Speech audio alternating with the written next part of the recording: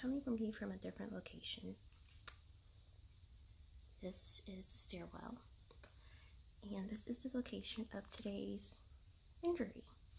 I had picked up Dakota, we were coming downstairs, and as I'm walking down the stairs, I'm thinking, hmm, I wonder who's going to be the first to fall. And, and that's what I did.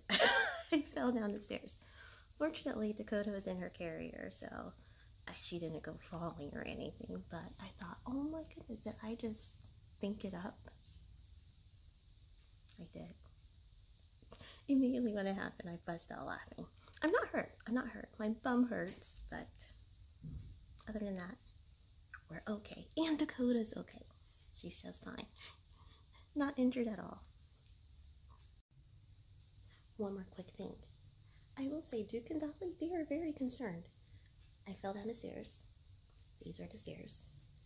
I giggled, went into the living room, dropped off Dakota into her playpen, and I heard Duke and Dolly tumble down, well not tumble, but you know, you hear dirt come down the stairs. And they came to check on me, so I have such good doggies.